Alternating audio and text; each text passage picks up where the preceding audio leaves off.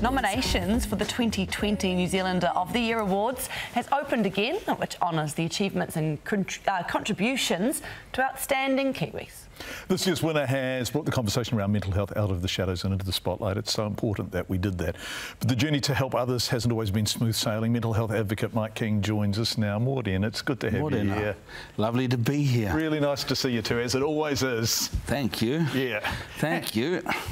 tell me about being New Zealander of the Year and the impetus that that gave your campaign for us to start treating mental health as something we have to deal with collectively? Um, well, first of all, I didn't realise the impact that being New Zealander of the Year would have. Um, you know, I was five years losing five years losing and then you know thinking it was wasn't such a big deal and then getting it and then you know realizing how big mental health was to New Zealanders. I mean, we had 530,000 people download that um, New Zealander mm. of the Year frame, and that's when it really hit me um, that this was something that we could use as a platform to um, really drag mental health into the spotlight. So, you know, in that regard, absolutely phenomenal, absolutely amazing, and very humbling. What has it been like to drag mental health into the spotlight? Mm. Because sometimes when you see things for what they are, it's terrifying. Yep.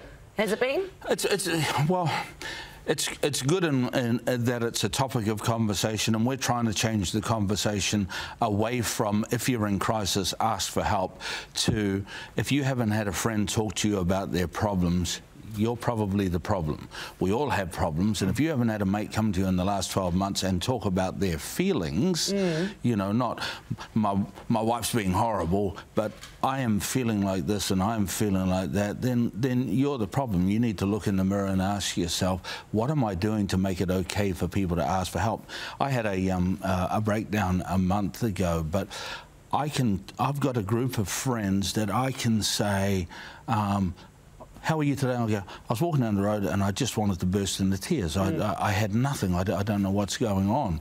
Um, and, and I'm allowed to talk openly to them. And I just want the opportunity for all New Zealanders to, to have that happen. But, but in order for that to happen, we have to give permission to people who aren't in crisis to go, it's okay, man. You can you can tell your friends that you're there for them. You don't have to fix them. You don't have to fix them. Your job is to pathway them to the help that they need. But the most important thing that they need right now is for the conversation to start to know you're a safe person to talk to. Nice to be able to talk about your feelings when you're not in crisis too, though? It, that's the best time to mm. talk about your feelings. And that's the best time to tell your friends that you're there for them. The, what we usually do is we wait till our friends are in crisis and go, oh, mate, I've been there. Yeah. I know exactly what you're going through. And what you think you're saying or what you think you're conveying to your friend is, I've been where you are and things get better. But what I'm hearing is, oh, so even when you're in crisis, you're perfect. You get over everything. It must be just me. Wow, it's tough, isn't it? The, the really fascinating. How old are you?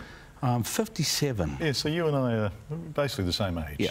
And, and I remember the Cure album, Boys Don't Cry. Yep. I, you know, New Zealand was a culture in which we were taciturn and laconic yep. and, and men didn't talk about our feelings at all. That's right.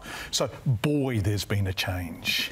Yeah. And, and yet our, our suicide rate is, is, is historically high. It's higher than our road toll. So what do we still need to do to confront the weight of the mental health crisis in this country? Well, well first of all, we need to stop focusing on the number. The number is going to rise because, you know, as the threshold for for what is a suicide comes down and the, the, talk opens up, the numbers are going to go up. Mm. That doesn't mean that you know they weren't there before. It's just the way we're reporting them yeah, now. Truly. So they are going to go up, but they will plateau. But the, the the thing that we really need to do is create attitudinal change. Focus on the 80% of the population who is on a good, in a good place right now and just ask everyone to look in the mirror and go, what am I doing to make it okay for my kids to talk?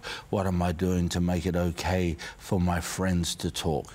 As I say, if you haven't had a friend come to you in the last year and talk about their feelings, you've you're the problem. You're the problem. And until we change that, you can have the best mental health system in the world. You could throw billions of dollars a day at it and won't make any difference no. at all. You know, you, you said you had a breakdown a month ago. Yeah.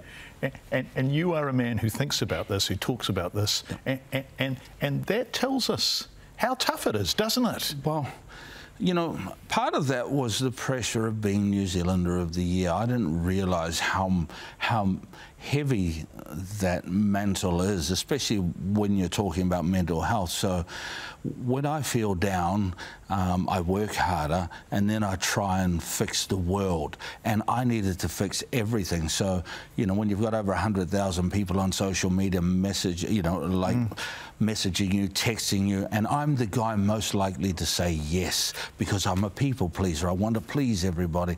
And it just, the, the weight of it just started weighing me down. And people texting you going, I'm going to take my own life tonight. And people texting, uh, ringing you and leaving messages, you're New Zealander of the Year, but you do nothing you don't deserve.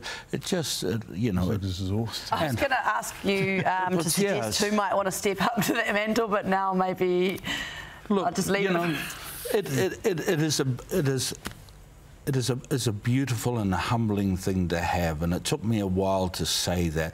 I would, I, when people complimented me, I would push it away. I'd push it to one side because that's the Kiwi way. We don't celebrate success. We celebrate other people's success. And my wife pointed out quite rightly, she goes, what message are you giving to our kids by brushing this yeah. success to one side? What you are actually teaching our kids is that you cannot be successful. Mm. So you nod, you say thank you, you give people a big smile, and and you know it, it took me a while to get that. So it is a is a brilliant thing um, to, to, have. It's something that um, uh, you know I wear with with great pride, um, and you know nominations are open, and I want everyone to have a go. You know, but the people I want nominated, you know, if you're getting paid to do something you're doing your job. You know, there are lots of Kiwis out there who are heroes. Mm who are going out there and giving selflessly out there every single day. There are so many of them. For me, they're the New Zealanders of the year, and that's who I would like to see nominated next time. Someone who is actually going to use this not for self glory, but to to uplift other New Zealanders and and shine a light on things that need to be sorted. Beautiful. Thank you so much, and Thanks, you absolutely Mike. deserve the accolade. Thank you for what it's you've done. I love you guys. Thank yeah. you. Yeah, it's really nice to see you. Always is. Thank Proud you. of you, bro.